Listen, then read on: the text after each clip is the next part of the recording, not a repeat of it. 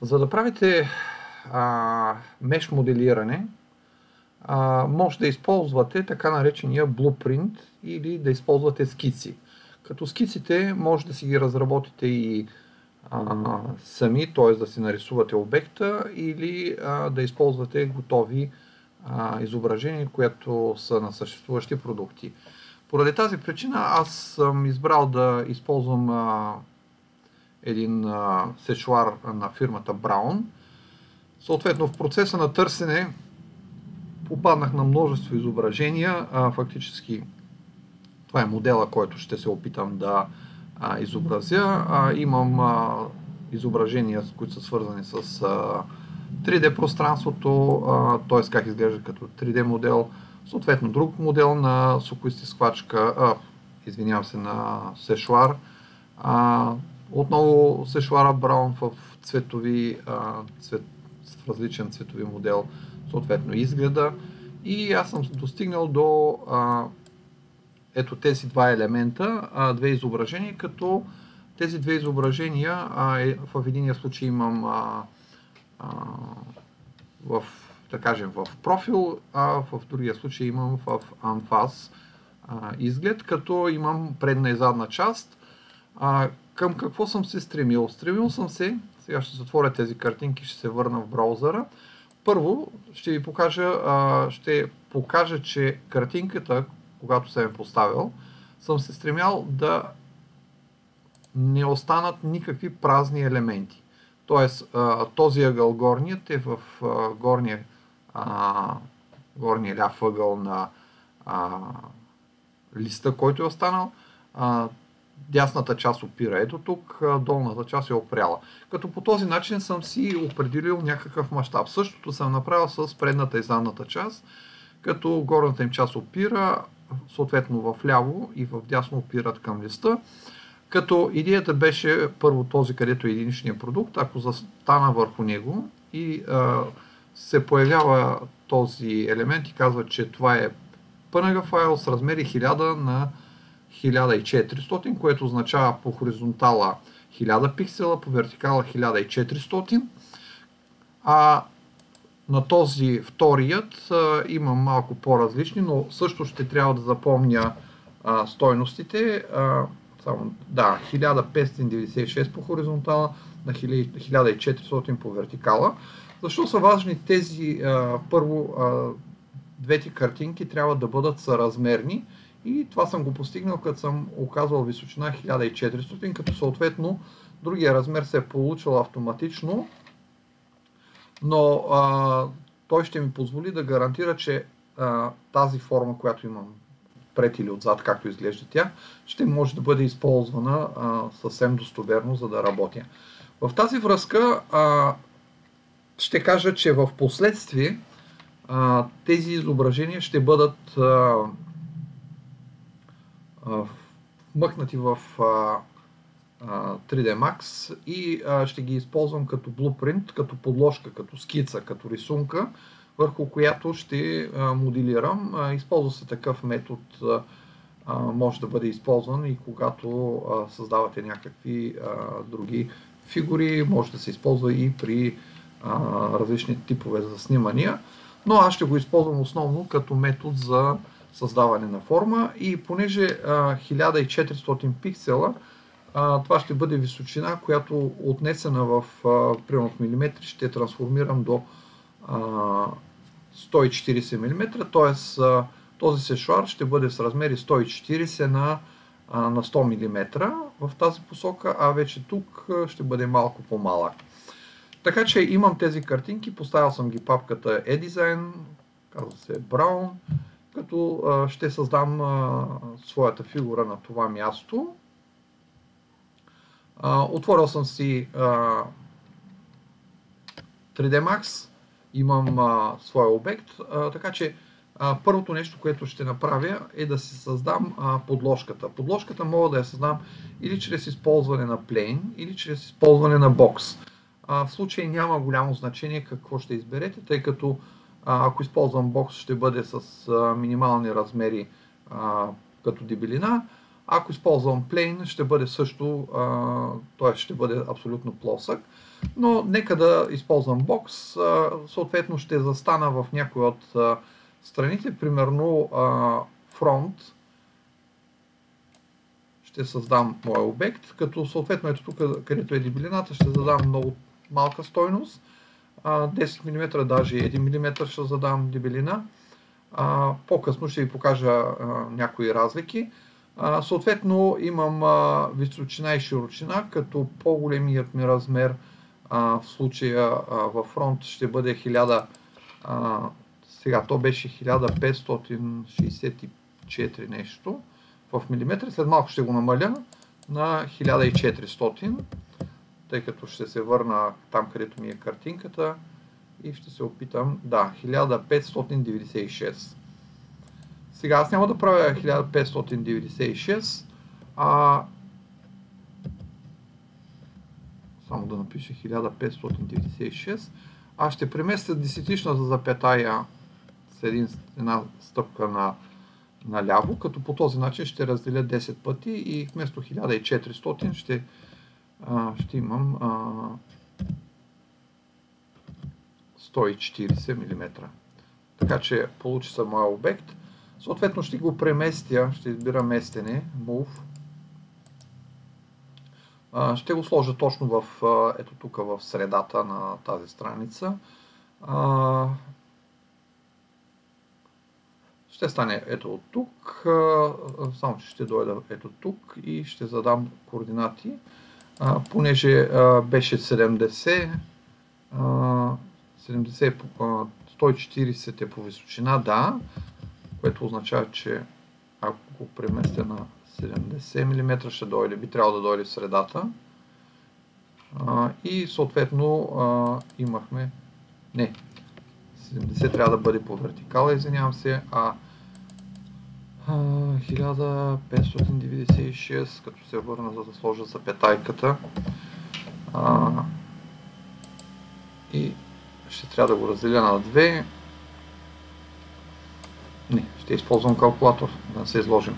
1596 делено на 10 първо, после делено на 2, 79,8. Така.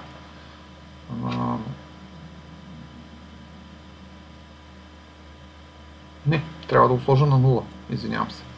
По хикс. Така. По този начин създавах една повърхност, която ми е в средата. Сега, понеже на по-късен етап ще трябва да използвам, а, да виждам отпред и отзад, ще го отместя. Или хайде за сега няма да го местя. в последствие, когато сложа блупринта, тогава ще го направя. Сега, ето в тази страна, отново ще си направя бокс. Ще го изчертая ето така ще задам някаква дебелина, отново ще я променя на 1 мм, а, съответно 140 по височина и 100 по хоризонтала. Съответно, ако го опитам да се преместя тук по Y, трябва да задам нулева стойност, а ето тук трябва да задам 70 мм. Като по този начин поставих двата елемента, един в друг. Сега ще ми трябва място. Ще трябва да освободя, сега не мога да преценя от коя страна ще работя, но ето този ще го преместя в, в тази посока на около 100 мм. А този ще го преместя в ето тази посока а, на около 55. Като по този начин това са като два паравана, които се получиха. Ще ги използвам за а, върху тях да поставя своите чертежи, скиците, които ще а, поглеждам а, и спрямо които ще меря. И поради тази причина а, вече е хубаво да се запиша файла. Къде ще го запиша? А, ще отида в папката, в която работя. Work Design.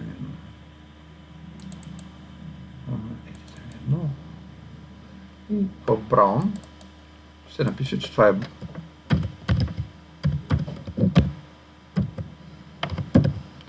Brown Mesh. Така. А, това, което ще ви покажа, сега това е изглед отгоре, това е изглед от фронтално, това е от ляво. Фактически това е 3D изгледа ни. А, де факто Днес ще ви покажа как се поставя материал върху 3D обект.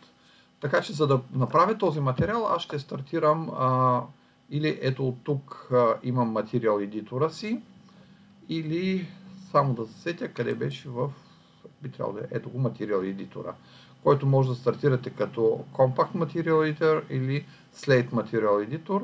Аз използвам компактната форма, като при компактната форма, а, когато стартирате материал едитора, дали го стартирате от ето тук или използвате буквата М, а, в зависимост от тук какъв материал едитор е избран. Примерно, когато го отворите, има а, Slate и този, който е...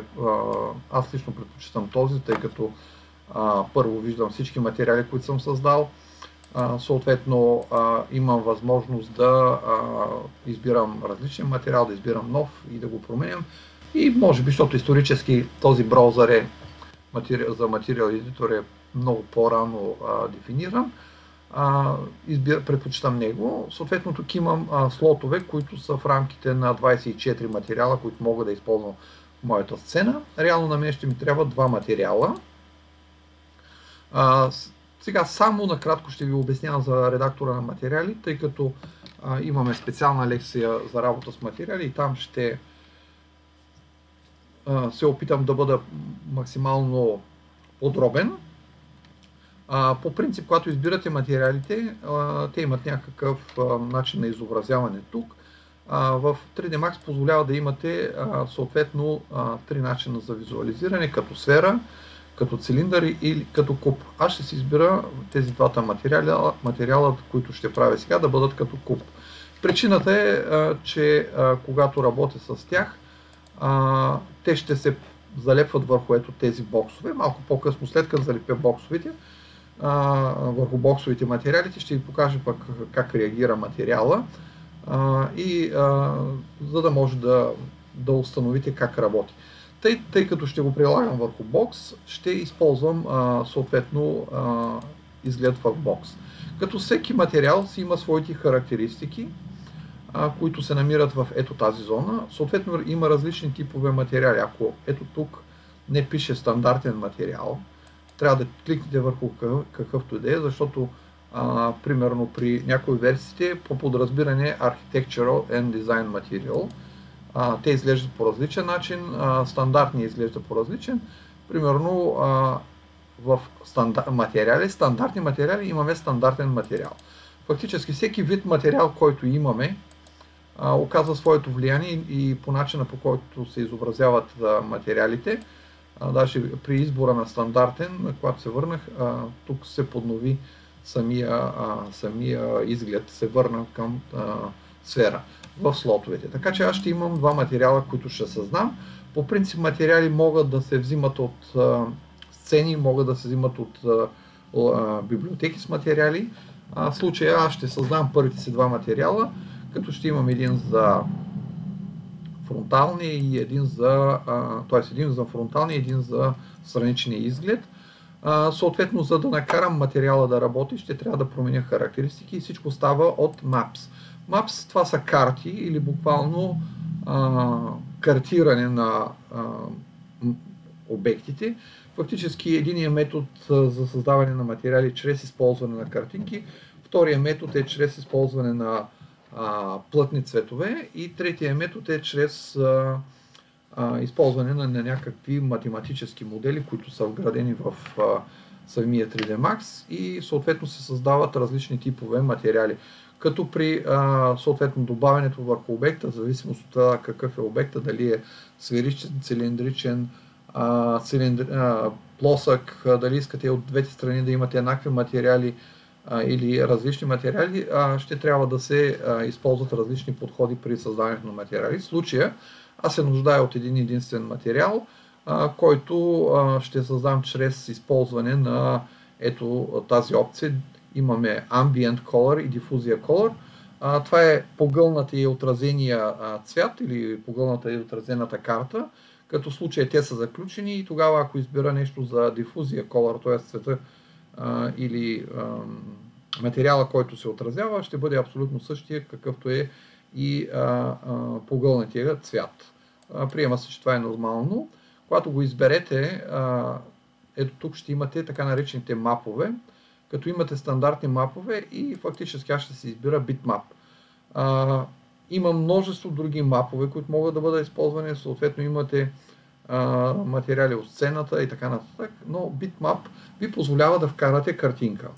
Когато вкарате картинката, по принцип ще ви се отвори папката, в която се намират изображенията, които са част от а, 3D Max. Ето имате 3D Max, сцена, сцена Assets Images. Тук има някои картинки, но аз в случая ще си избера от моя компютър. Ще отида в папката, в която са ми картинките Brown и стигайки до тях.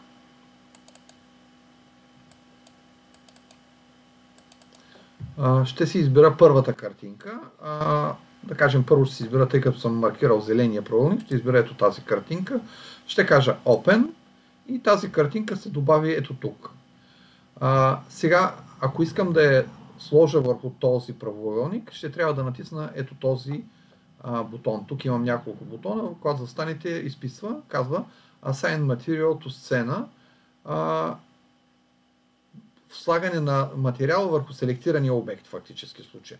Ако кликна, тук се случи нещо, но не се вижда.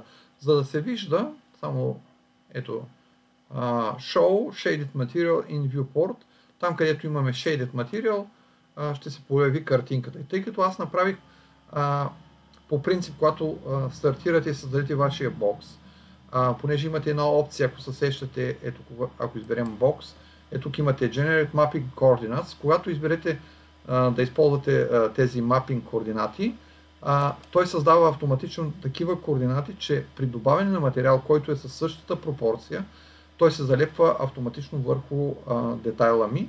Ако имате разминаване обаче, то тогава ще трябва да приложите други техники, които ще обясня следващата седмица.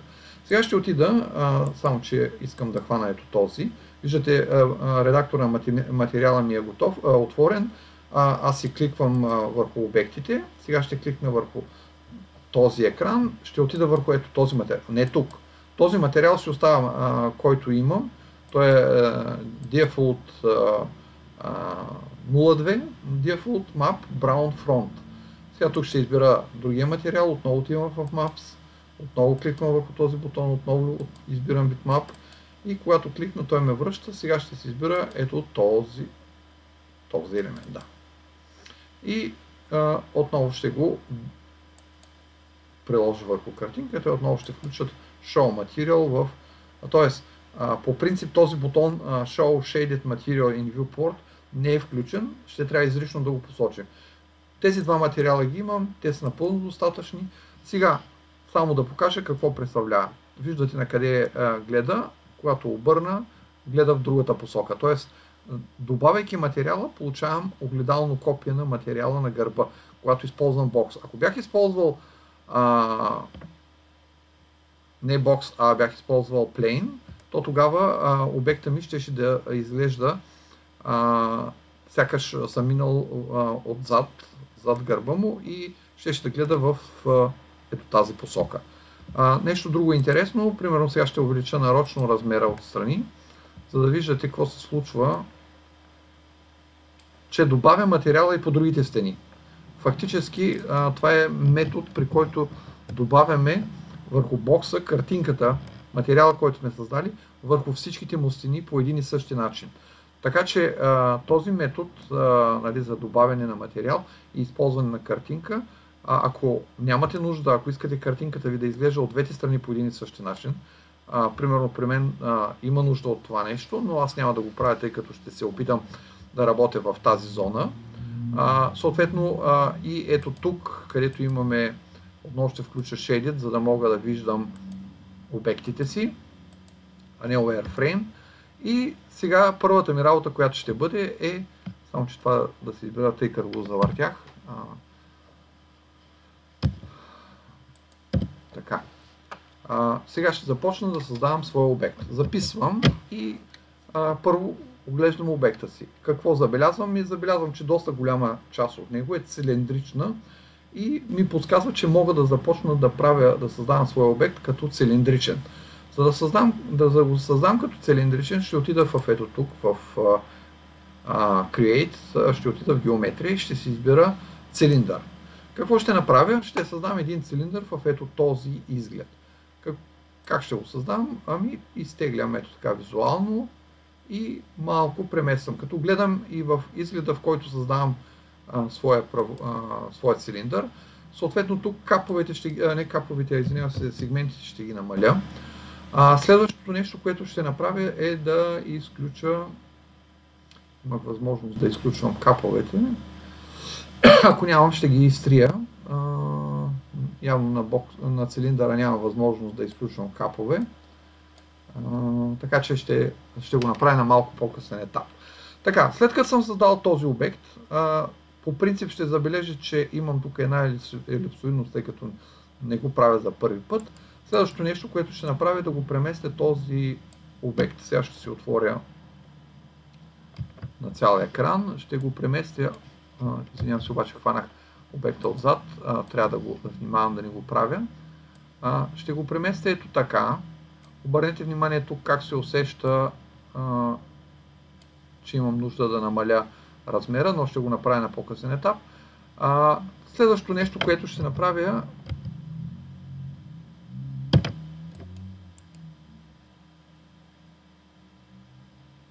че изолирах, успях да изолирам, направих изолация, не беше необходимо. Връщам се ето тук и първо поглеждам ето ми 3D модела, той се намира срещу фронт. Така, по принцип може да приложите модификатор. Модификатора Edit Poly. Ето тук го имахте, Edit Poly в дясно и да, да, да работите с първоначалния обект, като съответно на по-късен етап може да се върнете към цилиндъра и така нататък, ако имате нужда нещо да модифицирате. Но аз ще приема, че няма да имам нужда, поради тази причина, както съм ето тук, няма да прилагам а, модификатор, а ще отида директно и ще кажа, че искам да конвертира този цилиндър в а, Editable а, Poly. Защо в Poly? В поле имах а, възможност, а, когато отида ето тук, да имам а, бордер. Съответно полигона, когато посоча, посочвам този елемент, ще изтрия двата капа, които имам, като по този начин ще а, мога да работя с бордер. А, следващото нещо е, ще си отворя този прозорец на цял екран, а, ще се приближа, съответно ще си хвана целият обект, и ще се опитам да го, на, да го разположа точно където ми е обекта. А, имам някаква а, лека, да я нарека, елепсовидност, която ще се опитам да постигна с scale. Съответно, леко, съвсем леко ще променя в тази посока и съвсем леко в ето тази посока. Така, мога да приема, че фронтално съм създал своя обект. Сега, а, когато а, работим с меш моделиране, особено в случая има, сега тук явно се получава леко разминаване и ще ви кажа откъде се получава това леко разминаване. А, ако обърнете внимание, ето в, на тази снимка, а, тук липсва един участък и би трябвало а, да се опитам, може би визуално, нека да изляза от Editable Poly. ще изляза ето тук. И ще се опитам да а, модифицирам а, картинката. Съответно, а, единия вариант е да задам а, а, а това 156 е изчезнало то е хубаво да е точно. А, тук където е 140, може би е добре леко да модифицирам, т.е. да намаля размера. Ще пробвам с 130 да видя какво ще ми се получи. А, и съответно ще повдигна картинката или ще я подравня по ето тази. Ще изключа скалирането, ще избера подравняване. Ще избера само по Z подравняване, максимум, максимум. Така. Като по този начин ще се опитам да си направя нещата да бъдат по-близки. Съответно сега се оказва, че нямам нужда от а, това скалиране, но ще трябва да си поправя това, което развалих. Така, имам моя цилиндър. Бих могъл да кажа, че всичко е почти окей. Okay. Ще отида ето в този правоъгълник, този екран по-точно. Ще го отворя на цял екран. Тук забелязвам, че само да се върна, да избера местене. Отивам малко напред, виждам, че имам някакъв наклон. И ето сега ще ви покажа как ще използвам бордер. Когато хвана бордер, бих могъл, хващам цялата само да се върна в 3D, хващам целият кръг, който съм посочил. Той е, той е ето тук, ако дойдем, ще забележите една а, червена линия и сега ще се върна тук и ще използвам а, ротация. Първо ще ротирам малко, за да е направя полуспоредна. И след това ще използвам Move, леко да изнеса този край навън. Така, следващата стъпка, която ще предприема е отново да използвам бордер, но ще хвана ето този бордер. Фактически, посочвайки ето този ръб, аз хващам целия, контур, който не е затворен. И сега ще използвам следващия метод, като ще кажа а, изтеглям, държейки Shift и копирам. Изтеглям и копирам изтеглям и копирам. Сега, тук забелязвам вече, че почвам да се приближавам. Ще използвам завъртане.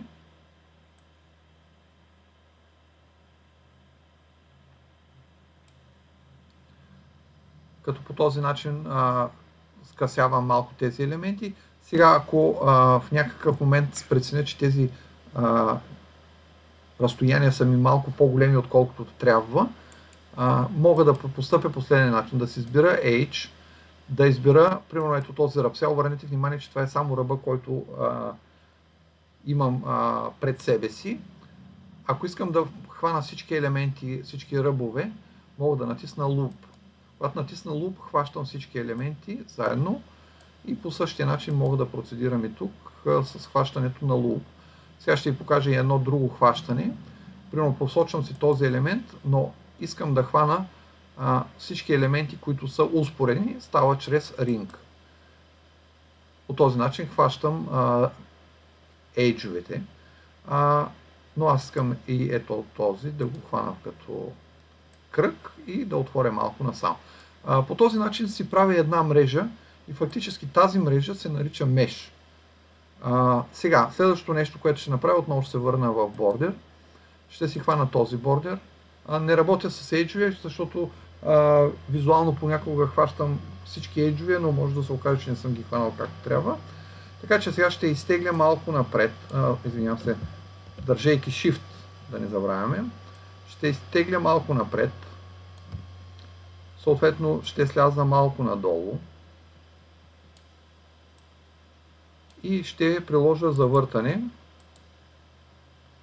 като идеята е да се опитвам да следвам формата такава каквато е. Съответно на по-късен етап, ако се наложи, ще се върна да редактирам. Сега, да обърнем внимание. Тази форма започва да завива, завива, стига до тук и започва отново да върви в права посока, като имайте в предвид, че тук при мен не е много точна картинката и ще трябва да импровизирам. Така че а, сега копирайки и местейки, ето усещам, че не съм постъпил много добре с завъртането. Завъртам. Като се опитвам да спазвам, може би трябва да се върна ето тук на H, да си избира местене, да си избира loop и да се опитам въпреки, че това е хубаво да го направя малко по-късно. Така, отново избирам бордер, избирам, натискам Shift, копирам, малко по-голям ще го направя. Ще избера завъртане, съвсем леко завъртане, за да се получи. Избирам си много мов. Отивам насам. Ще направя съвсем леко завъртане. Имайте предвид, че когато държите натиснат Shift, независимо дали правите Scale или правите Move, това, което фактически се получава копиране. Когато правех завъртането, лекото завъртане, аз не държах Shift, сега ще държа Shift, отивам надолу към края.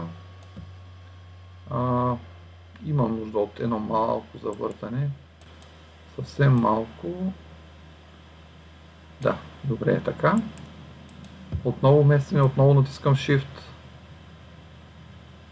и така, отново и приемам, че тук нещата са ми вече горе-долу окей. Следващата стъпка, да, тук малко ще трябва да направя завъртане. Така, а, след това ще се върна на H и ще се за избора Loop. Съвсем леко, ако има нужда от някакво наместване, само че изтървах, ще трябва да избера отново. Ето така. И може би с ето този луп ще постигна някакъв резултат. Така. А, мисля, че ето този също трябва да малко да го повдигна. Този малко ще го изнеса наляво. И малко ще го завъртя. Хубаво е да правите прецизирането още в самото начало, защото колкото повече стават нещата, се осложняват. Ето какво се случи с 3D модела ми. Имам до крайния елемент. Сега, следващото нещо, което ще направя,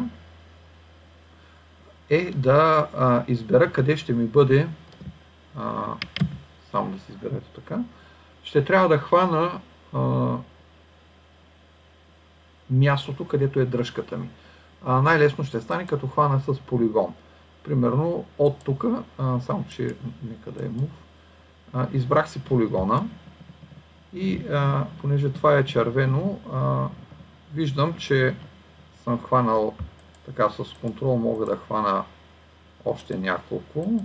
Съответно, ето тук се вижда предвижването ми. А, ще използвам ето тези елементи за да ги изтрия. Значи, когато ги посоча и натисна дел, ще пробия отвор. Този отвор може да го използвам, за да направя някакво закръгление и така нататък. Примерно мога да отида примерно на, на H, да си избера луп. Сега обърнете внимание луп какво ще направи. Няма да отиде по тази линия, би трябвало но за целта мога да използвам бордер, ако искам да хвана, но нека да видим къде ще отиде луп. Фактически луп хвана всички тези по тази дължина. Ако искам да хвана само бордера, ето така го посочвам. А, сега ще се опитам да приложа чамфър. Като стойност, чамфър той ми казва, че ще бъде 2,54. Нека да приемем 5 мм. Нямам идея дали ще се получи добре. Съответно броя на сегментите. Само, че чамфъра виждате къде го прилага. Няма да ми свърши работа. Така че се отказвам. Ще използвам друг трик. Ще използвам Vertex и когато използвам ето тук Vertex, отново имам chamfer.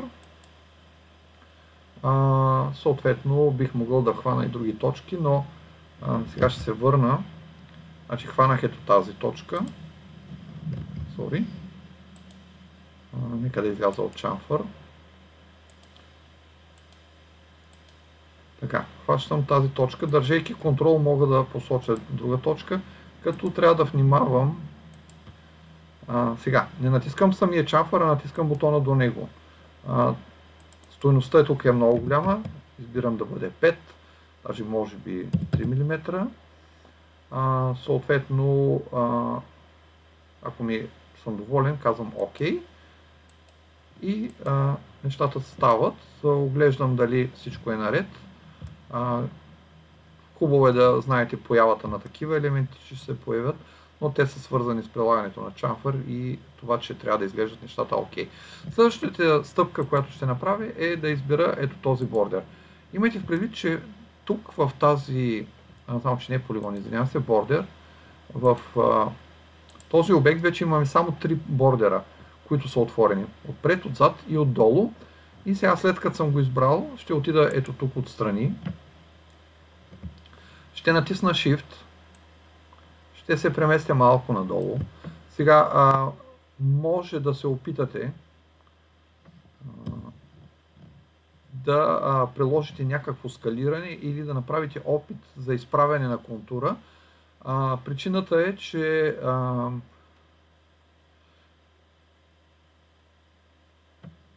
по-лесно се работи с хоризонтални обекти, но в случая това няма да ми помогне и аз ще се опитам да използвам а, след като съм слязал в, в тази посока, защото ако гледате тук, слизането ми е а, вертикално надолу.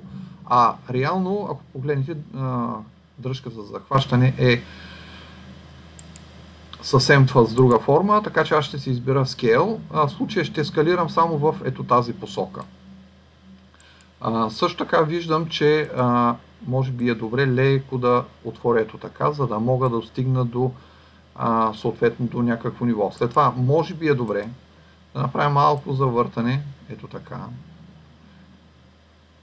за да а, ми се получи. Сега виждате, тук имам малко по, повече, т.е. по-малко място, отколкото тук визуално. Така че отново ще си избира а, местене. След това отново ще си избира Scale. Отново ще избера само в тази посока да скалирам, не в 3D, само по OS И приемам до известна степен, че нещата ми са окей. Okay. Следващата стъпка е отново да копирам. Сега ще отворя, малко ще се отдалеча. А, дали имам нужда от нещо? Да, малко местене виждам тук, че настърчам. Така, още малко скалиране. Така, може да кажем, че нещата са окей. Следващата стъпка е, е местене чрез а, и направене на клониране. Тръгвам надолу. А, леко ще отместя.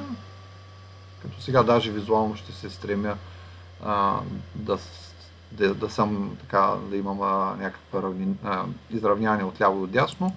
Избирам си скалиране. Отново прибирам, а, ако преценя, че имам нужда от леко завъртане, но в случая няма да го правя. Ще избера местене. Продължавам надолу. Като се опитвам да следя контура. Сега имайте предвид, че сигурно в фронталната част отново ще се виждат нещата и тук установяваме, че съм излязал доста напред, така че може би ще се наложи да този елемент да избера на бордер, да избера Scale и съответно да се опитам да го прибера. Но имайте в предвид, че а, предходните също сигурно съм ги направил по-широки, така че избирам този ръб, а, избирам луп и ще се опитам а, да скалирам така. Като ще се опитам да гледам тук какво правя. Ето виждате какво се получи. Ще трябва... Не, аз съм избрал... Sorry. аз съм в H, обаче съм избрал външния H. А исках ето този. Нека да кажа loop. И ето в тази посока леко да... Ето виждате ли как изправих странично нещата и можем да кажем, че са окей. Okay. Като от време на време ще поглеждам и в този изглед. Сега този малко ще си го повдигна. Ще си избера отново Move, ще натисна Shift. Извинявам се, обаче, когато имам вътрешен ръб, както бях го хванал, нямаше да мога да получа, трябва да е с външен. Тръгвам напред и ще трябва да направя леко скалиране, само че този път вече малко навън. И от тук също малко навътре. И в 3D пространството го гледам какво, какви ги върша. Ами, тук е добре. Следващата стъпка отново избирам Move. Отново натискам Shift, за да направя клониране. Сега тук ще трябва да отворя малко повече, така че избирам си скел в тази посока. Отварям ето така. Може би малко ще трябва да преместя. Така. И тук ще погледна, имам може би малко скел, имам нужда в тази посока. На по-късен етап ще, ще огледаме хубаво дръжката. Сега а, копирам елементите. Продължавам с ето този изглед. Избирам Move. Отново избирам така. Тук ще трябва да направя едно освен скалиране, ще трябва да направи малко завъртане. Нека да направя завъртането първо. А, пак повтарям, когато въртя с жълтата линия, въртя по около ос, в случая Хикс. Да, а когато въртя по бялата линия, тъй като аз съм перпендикулярна на изгледа, фактически в случая въртенето около жълтата и около сивата линия ще прави едно и също, но ако съм в 3D пространството, резултата ще е малко по, а, по-неверен. Тогава а, този върти срещу погледа ми, а този се върти винаги около ос Хикс. Така слагам го в средата а, и прилагам скалиране, като дърпам само в тази посока. Така, след като премина тази чупка тук отдолу, сега примерно забелязвам тук, че малко са ми неравни нещата, но ще се опитам да го оправя след като премина надолу. Отново избирам местене. А, вече дръжката, дръжката започна да променя посоката и характера си. Ще направя едно завъртане. Малко по-голямо. След това ще имам още едно местене. Надолу. И малко на на, навън, като ще приложи и едно малко скалиране в тази посока, за да стигне от дръжката. А тук поглеждам, нещата ми са добре. Значи в тази фронталната част няма да правя промени, само ще следвам ето тук. А, следващото ми отново е местене, отново натискам Shift. Тук вече мога да правя малко по-дълги ходове, но е хубаво да завъртя, за да застане формата ми перпендикуляр, т.е бор, бор, бордера ми, границата да застане перпендикулярно на самата форма.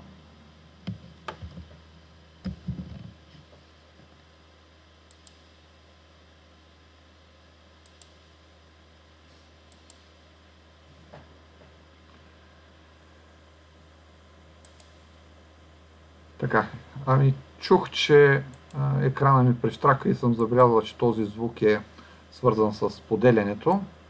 Така че отново се връщам. А, има ли някой да не ми чува? Чувате ли ме? Нека ако някой ме, начу... ме чува да напише.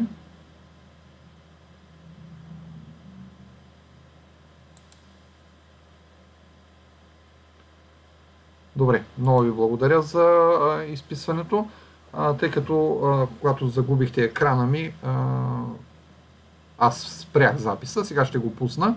Връщам се обратно в 3D Max а, и пак ли го загубихме? Спрях пауза. Ще, ще споделя отново, извинявам се. Да.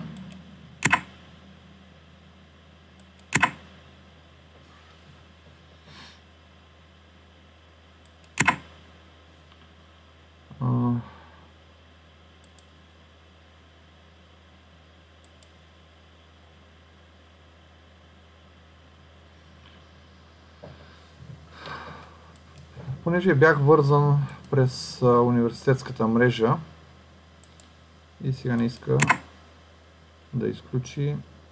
Така, останете на линия. Аз ще, ще изляза за секунда и ще се върна отново. Не напускайте.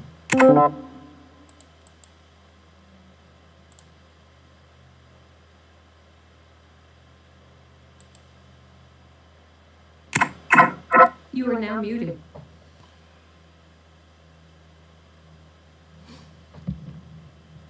Чувате ли ме? А, не. You are now unmuted. Чувате ли ме? Само някой, ако обича да напише, че ме чува. Окей, okay, споделяме екрана си.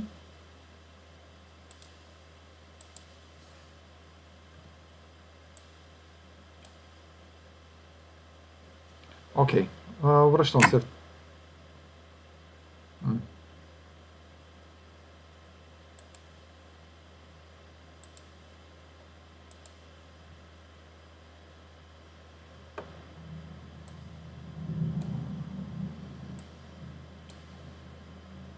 Връщам се в 3D Max. А, получих а, ето то, това влизане навътре и ще го затворя. Сега, какво е важно да а, кажем? А, когато правите такава меш форма, тя трябва, може да бъде направена по този начин. Сега да не забравяме, а, ето тук ще го видим, а, ще скрия формата си, а, само да избера самата форма, ще избера Heat Selection. Обърнете внимание, че тук има едно прорязване, което а, може би е добре да се направи, ако трябва да бъда коректен. После, ето в тази част имам един бутон и в задната част може би имам друг бутон, а, който може да играе роля. Така че а, правилният подход е в момента да се опитам да поправя всички неща, нали, да направя бутоните, но мога да ги направя на по-късен етап. Какво обаче забелязваме, когато а, гледаме нашата форма? Забелязваме, че е доста рабата. А, причината да е рабата, че работихме с малко сегменти.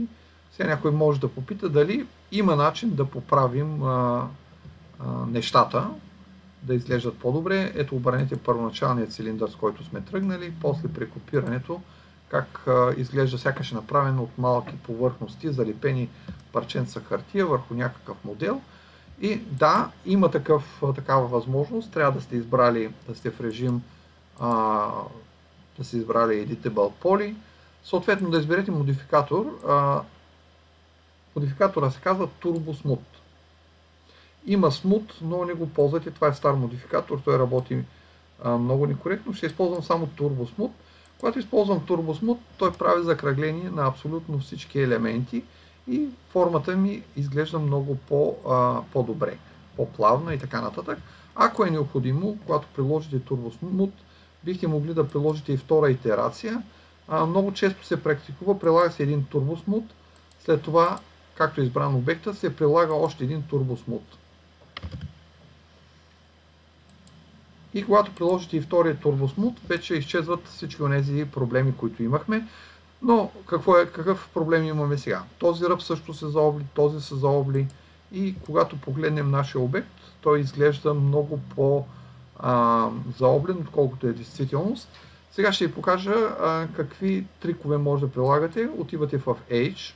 Когато се върнете в H, отивате към първата форма, избирате ето този елемент и му казвате а, Loop. И сега трябва да го намеря на втори, извинявам се. Трябва да превъртя тук, само да погледна. Има една такава има още едно прозорче някъде по-надолу, мисля, че беше. Сега ще го намеря. А, ето го, Smooth Lace. Когато а, съм избрал този ръб и той е с а, smooth, а, Smoothness единица, той се, а, като допирателна се, а, се свива или играе ролята на допирателна. Ако напиша стойност 0 и се върна в Turbo Smooth, ще за... А, нищо не го сработи. Явно трябва да отида пак на H. Избрам не този ръб.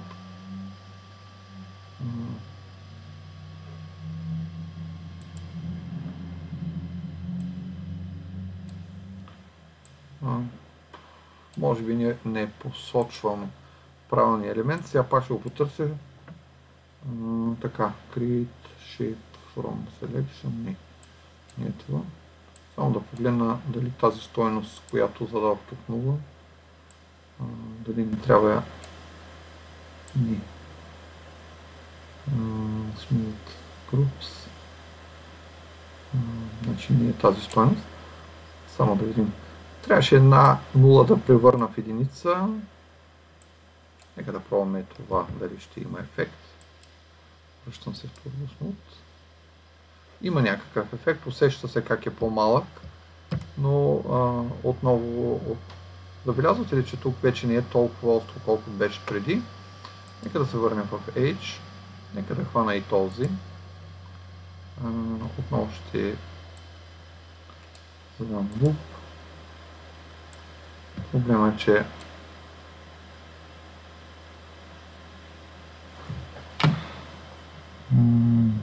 Само да погледнем дали това беше.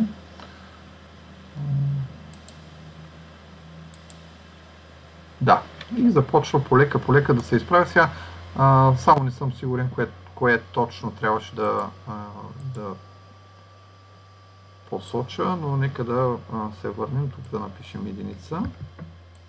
Тук ако напише единица, какво се... Трябва да пробвам само. Не, не са тези. Ще се върна да ги поправя в оригиналните ми стоености. Бяха единица и 0. А, явно трябва да отида в ето тази. Така. Тук е итерации и smoothness 0 би трябвало да работи по този начин. Итерации, нека да видя с 0 дали ще има ефект или трябва да направя в обратна посока. Ми се получава добре. Така че трябва да знаете, че горе-долу това е... Сега ще избера единица. Итерациите, нека да задам 2. Спомням си, че беше така. Ще се опитам да хвана и вътрешния ръб, да видим дали ще има някакъв ефект.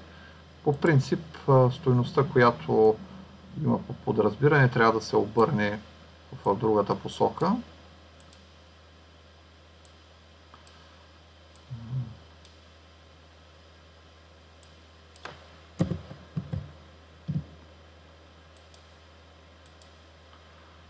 Така. Еми, има и други начини, примерно правят се допълнителни ръбове около този, който имаме. А, а, само за секунда ще го покажа как се прави. Примерно избират се H и ето тук се избира ето този H, а, само че вече не се натиска loop за да хванем нататък, а се натиска а, ring когато го хванем този ринг, можем да кажем, че а, искаме да ги а, конектнем. Само да... Така, ето го Connect. Когато изберете от тук менюто, той ви предлага да има връзка един елемент. Мисля, че в случая един елемент е напълно достатъчен. Тогава този елемент го премествам възможно най-близо ето тук. И тогава, когато отидем на Turbo Smooth, виждате, че този втори елемент, който вкарах, изигра своята роля. По същия начин бихме могли да се върнем отново на Edge, да хванем ето тези всичките елементи, примерно с, отново с Ring и да им кажем, а, че искаме да ги свържим. А, нека да бъдат с или по-хубаво да изберем менюто и да кажем, че искаме да, само че нека да се върнем. А,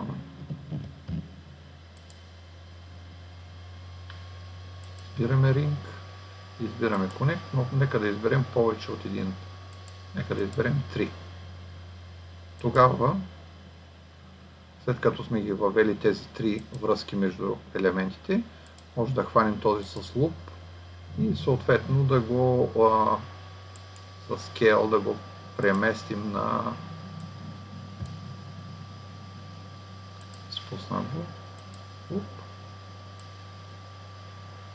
по-близо до ръба, тогава, когато се върнете в Turbo Smooth, виждате как самия ви ръб се изправи и по този начин може да изправите елементи. Съответно, когато създадете вашия детайл, ако имате нужда да, да изглежда както ще бъде в действителност, може да приложите и други техники, примерно може да отрежете половината. Дали още в режим, в който сте, ето тук, да отидете, примерно изберете режим на, ето в този режим, да изберете полигон, да изберете половината, само че да обърнете внимание, а, тук половината трудно ще го срежем, може би трябва да, да направим повърхност и да използваме а, срязване чрез повърхност, а, за, защото а, виждате, а, центъра ни се пада ето тук. Но може да го срежете, ако след като сте приложили турбосмута и всичко е окей okay, и желаете да промените нещата, примерно ето тук също имаме, се получава не толкова равна част. Примерно ако искате да оформите някакви отвори, през които или някаква мрежа, в случая тук е много лесно да отидете и да направите меши и да премахнете примерно елементи, които имаме тук или да използвате нещо, някакъв, да създадете нова, нов елемент, който да да прорежете отворите, да прорежете или да пробиете отвори, през които да излиза въздуха, съответно от задната част да, да влиза. Така че имаме, това е така нареченото меш моделиране, като при така. да виждам обект исках и съответно тук да виждам обекта си. Сега, бутоните можем да направим, за да ги направим бутоните, може би е добре да изрежем а, в тази зона, след това да направим самия бутон, защото а, когато погледнем картинката, а, виждаме отпред, че имаме кръгло бутонче, а, а задната част имаме някакво правоъгълно. А, можем да ги пробием, да създадем бутоните и така нататък и така нататък. Фактически с меш моделиране може да прави абсолютно всичко. Сега какво е важно да запомните? А, начина по който аз а, моделирах а, моя меш обект или да кажем този сешуар, по принцип не се моделира по този начин. Това е фактически все едно взех парче глина и започнах да го а, мачкам и оформих самата форма. Но ако искам да постигна детайл, който а, ще изглежда по начина по който изглежда на картинките, ще трябва да си направя а, примерно предната част с част от дръжката, задната част, съответно да използвам някакво срязване чрез логически операции, съответно да разреже формата, тъй като много често самите детайли, които се правят, имат някакво срязване и технологично срязване в случая тук не го виждам, но може да, да има такава необходимост. Обърнете внимание сега, че тук дръжката изглежда малко свита напред, т.е. предната част тук е малко по-свита. Как мога да я поправя? Ами ще се пробвам да отида в Vertex. Съответно ще се опитам да хвана предната част, въпреки че ако обърнете внимание, когато съм, а, когато съм създавал тази форма, имам твърде много точки и а, може да се наложи да премахна някои от тях, за да, да свивам или да хвана точно определени а, елементи и да се опитам да ги свия. А, какво мога да направя? Ами мога да се опитам да хвана ето тези средните и съответно да приложа върху тях а, а, това, а, тази промяна. Сега, тук има един такъв момент, че когато хващам а, тук отпред, може да се окаже, че хващам и отзад. Ето, сега хващам а, отпред, или да, не, от, и отзад и отпред хващам. Съответно, може да се окаже, че ще имам проблеми, но съответно е трябвало още в момента, в който тръгнах, е, когато стигнах до, до някъде ето тук, е трябвало да започна да свивам предната част. Ако трябва да бъдем коректни и искам да оправя нещата както изглеждат, ще трябва да изтрия долната част. Как става редактирането? Ами маркирам си или по, най-добре е да избира, ползвате полигони, примерно да ги маркирате ето по този начин, да ги изтриете, да изтриете още нагоре, примерно някъде до ето тази зона и да започнете да сега ще хвана само тези, които искам да изтрия. Съответно, може би тук трябва да се опитаме да подравним нашите точки, тъй като виждате каква форма вземат. Впоследствие те оказват и съответната. А, имаме ето този дефект, който изтрих. Значи ако го видя, ще трябва да се върна. А, по принцип с Ctrl се добавят, когато искате да добавите, а с Alt се махат а, некоректно селектирани ръбове, а, съответно а, а, точки и така нататък. С Ctrl добавяме, с Alt, а, с Alt махаме.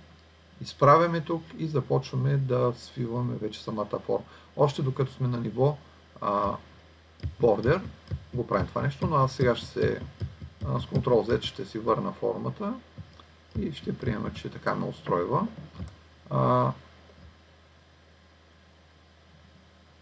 Това беше за днес като лекционен материал.